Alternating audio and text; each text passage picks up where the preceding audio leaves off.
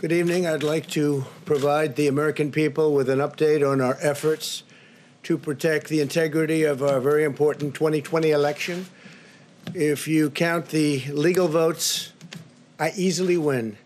If you count the illegal votes, they can try to steal the election from us. If you count the votes that came in late, we're looking at them very strongly, but a lot of votes came in late. I've already decisively won many critical states, including massive victories in Florida, Iowa, Indiana, Ohio. To name just a few, we won these and many other victories despite historic election interference from big media, big money, and big tech. As everybody saw, we won by historic numbers.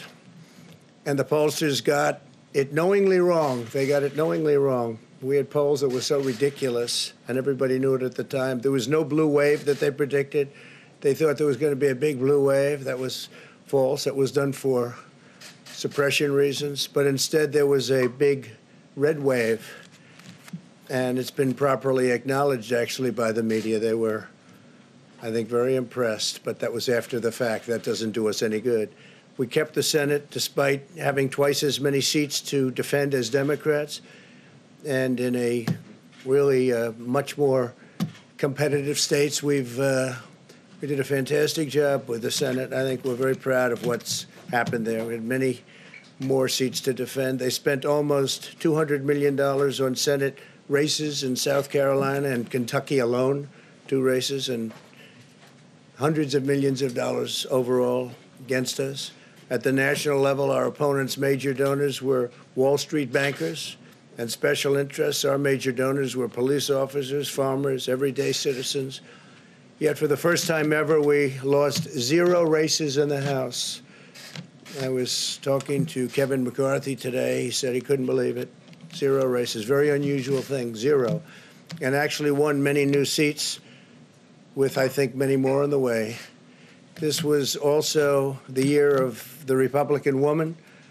More Republican women were elected to Congress than ever before. That's a great achievement.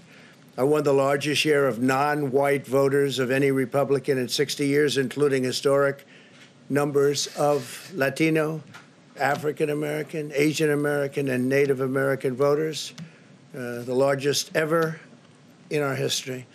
We grew our party by 4 million voters, the greatest turnout in Republican Party history. Uh, Democrats are the party of the big donors, the big media, the big tech it seems, and Republicans have become the party of the American worker, and that's what's happened. And we're also, I believe, the party of inclusion. As everyone now recognizes, media polling was election interference in the truest sense of that word by powerful special interests. These really phony polls, I have to call them phony polls, fake polls, were designed to keep our voters at home, create the illusion of momentum for Mr. Biden and diminish Republicans' ability to raise funds. They were what's called suppression polls. Everyone knows that now. And uh, it's never been used to the extent that it's been used on this last election. To highlight just a few examples, the day before election, Quinnipiac, which was wrong on every occasion that I know of, had Joe Biden up by five points in Florida and they were off by 8.4 points, and I won Florida easily, easily. So uh, they had me losing Florida by a lot, and I ended up winning Florida by a lot. Other than that, they were very accurate. Uh, they had him up four points in Ohio, and they were off by 12.2 points. And I also won Ohio, great state of Ohio, very easily. The Washington Post said Biden up 17 points in Wisconsin, and it was basically even. They were off by about 17 points. And they knew that. They're not stupid people. They knew that. Suppression. There are now only a few states yet to be decided in the presidential race. Uh, the voting apparatus of those states are run in all cases by Democrats.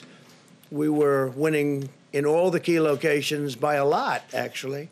And then our numbers started miraculously getting whittled away in secret, and uh, they wouldn't allow legally permissible observers. We went to court in a couple of instances, and we were able to get the observers put in. And when the observers got there, they wanted them 60, 70 feet away, 80 feet, 100 feet away, or outside the building to observe people inside the building.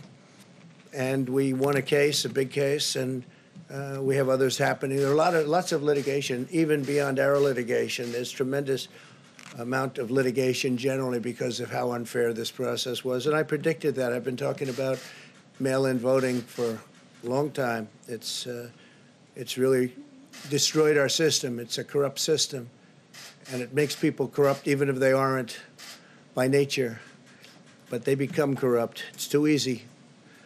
They want to find out how many the votes they need, and then they seem to be able to find them.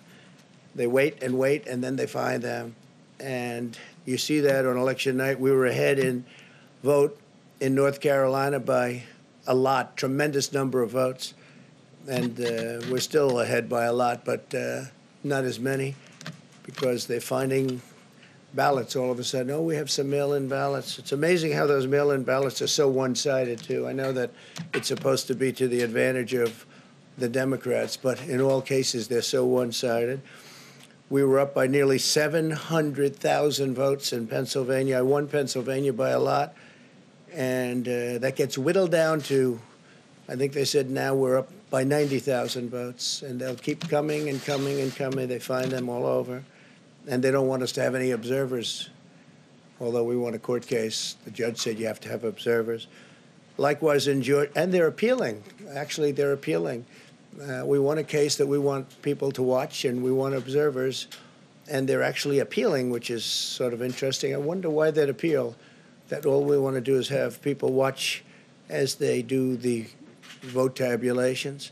Likewise in Georgia, I won by a lot, a lot, with a lead of over getting close to 300,000 votes on election night in Georgia. And by the way, got whittled down, and now it's getting to be to a point where I'll go from winning by a lot to perhaps being even down a little bit.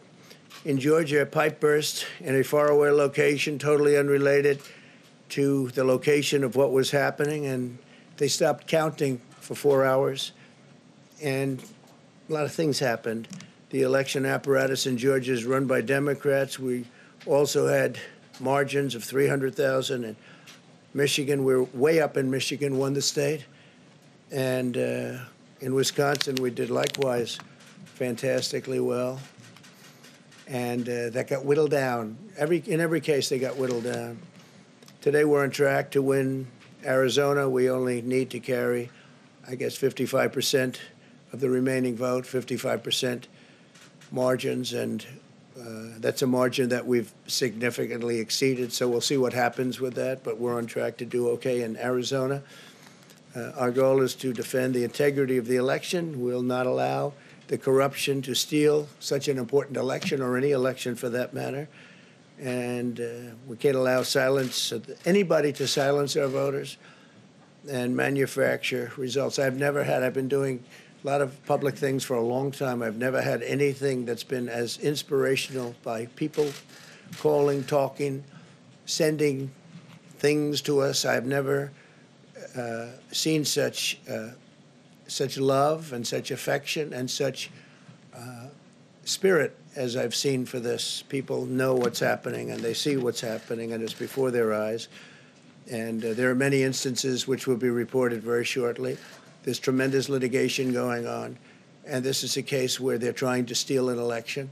They're trying to rig an election and we can't let that happen. Detroit and Philadelphia, known as two of the most corrupt political places anywhere in our country, easily cannot be responsible for engineering the outcome of a presidential race, a very important presidential race. In Pennsylvania, Democrats have gone to the state Supreme Court to try and ban our election observers, and very strongly. Now, we won the case, uh, but they're they're going forward. They don't want anybody in there. They don't want anybody watching them as they uh, count the ballots.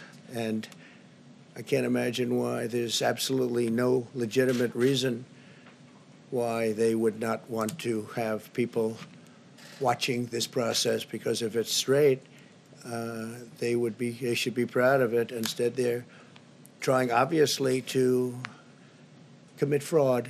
Uh, there's no question about that. In Philadelphia, observers have been kept far away, very far away, so far that people are using binoculars to try and see. And there's been tremendous problems caused. They put um, paper on all of the windows so you can't see in, and the people that are banned are very unhappy and become somewhat violent. The 11th Circuit ruled that in Georgia the votes have been in by election day, that they should be in by election day, and they weren't. Votes are coming in after election day. And uh, they had a ruling already that you have to have the votes in by election day. To the best of my knowledge, votes should be in by election day. And uh, they didn't do that. Democrat officials never believed they could win this election honestly. I really believe that. That's why they did the mail in ballots, where there's tremendous corruption and fraud going on. That's why they mailed out tens of millions of unsolicited ballots without any verification measures whatsoever. And I've told everybody that uh, these things would happen because I've seen it happen. I watched a lot of different elections before they decided to go with this big, massive election with tens of millions of ballots going out to everybody, in many cases totally unsolicited. This was unprecedented in American history. This was by design, despite years of claiming to care about the election security. They refused to include any requirement to verify signatures, identities, or even determine whether they're eligible or ineligible to vote. People are walking in there, they have no idea. They're just taking numbers, they're writing down things, the workers, and doing a lot of bad things. And we have a lot of information coming and litigation that you'll see that will uh, shake even you people up. And you've seen it all. The officials overseeing the counting in Pennsylvania and other key states are all part of a corrupt Democrat machine that you've written about. And for a long time, you've been writing about the corrupt Democrat machine.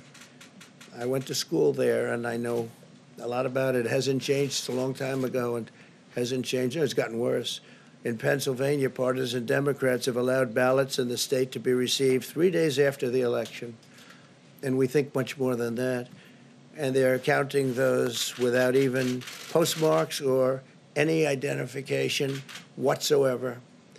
So you don't have postmarks, you don't have identification. There have been a number of disturbing irregularities across the nation. Our campaign has been denied access to observe any counting in Detroit. Detroit is another place, and uh, I wouldn't say has the best reputation for election integrity. Poll workers in Michigan were duplicating ballots, but when our observers attempted to challenge the activity, those poll workers jumped in front of the volunteers to block their view so that they couldn't see what they were doing. Everybody, in many cases, totally unsolicited. This was unprecedented in American history. This was by design, despite years of claiming to care about the election security. They refused to include any requirement to verify signatures, identities, or even determine whether they're eligible or ineligible to vote. People are walking in there, they have no idea. They're just taking numbers. They're writing down things, the workers, and doing a lot of bad things. And we have a lot of information coming and litigation that you'll see that will uh, shake even you people up. And you've seen it all. The officials overseeing the counting in Pennsylvania and other key states are all part of a corrupt Democrat machine that you've written about. And for a long time, you've been writing about the corrupt Democrat machine. I went to school there, and I know a lot about it. It hasn't changed. It's a long time ago. And hasn't changed. It's gotten worse. In Pennsylvania, partisan Democrats have allowed ballots in the state to be received three days after the election. And we think much more than that. And they're counting those without even postmarks or any identification whatsoever.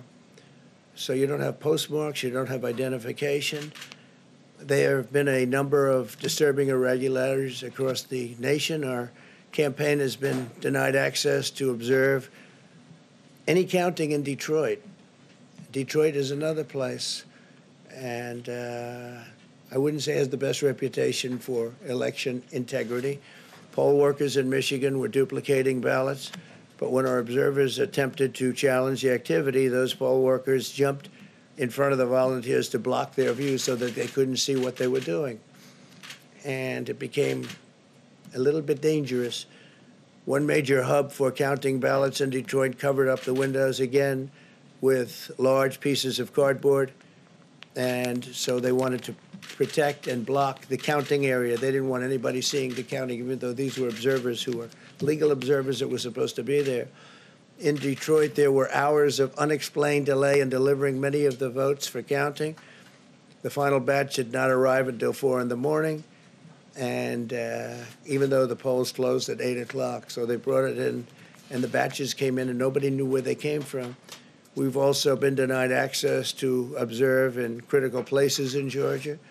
In multiple swing states, counting was halted for hours and hours on election night, with results withheld from major Democrat run locations only to appear uh, later. And they suddenly appeared, and they all had the name Biden on them, or just about all, I think almost all. They all had the name Biden on them, which is a little strange. I challenge Joe and every Democrat to clarify that they only want legal votes because they talk about votes, and I think they should use the word legal, legal votes. We want every legal vote counted, and I want every legal vote counted. We want openness and transparency, no secret count rooms, no mystery ballots, no illegal votes being cast after election day. You have election day, and the laws are very strong on that. You have an election day, and they don't want votes cast after election day, and they want the process to be an honest one. It's so important. We want an honest election, we want an honest count, and we want honest people working back there because it's a very important job. So that's the way this country is going to win. That's the way the United States will win. And we think we will win the election very easily. We think there's going to be a lot of litigation because we have so much evidence, so much proof, and it's going to end up perhaps at the highest court in the land. We'll see. But we think there'll be a lot of litigation because we can't have an election stolen like, by, like this. And I, I tell you, I was, I have been talking about this for many months with all of you, and I've said very strongly that mail-in ballots are going to end up being a disaster. Small elections were a disaster. Small, very easy to handle elections were disastrous. Uh, this is a large-scale version, and it's getting worse and worse every day. We're hearing stories that are horror stories, absolute horror stories and we can't let that happen to the United States of America. It's not a question of who wins, Republican, Democrat, Joe, myself. We can't let that happen to our country. We can't be disgraced by having something like this happen. So it will be hopefully cleared up, maybe soon, I hope soon, but it'll probably go through a process, a legal process, and as you know, I've claimed certain states, and uh, he's claiming states, and we can both claim the states. But ultimately, I have a feeling judges are going to have to rule. But there's been a lot of shenanigans, and we can't uh, stand for that in our country. Thank you very much.